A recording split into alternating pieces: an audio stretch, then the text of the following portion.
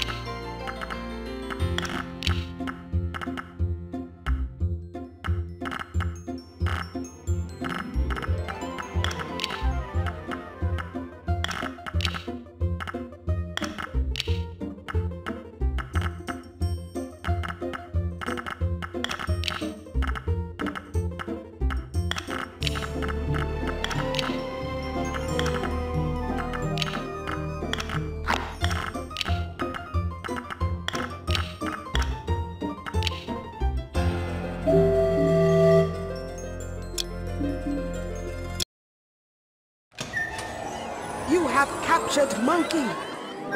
Now find the African trickster, Anansi the spider.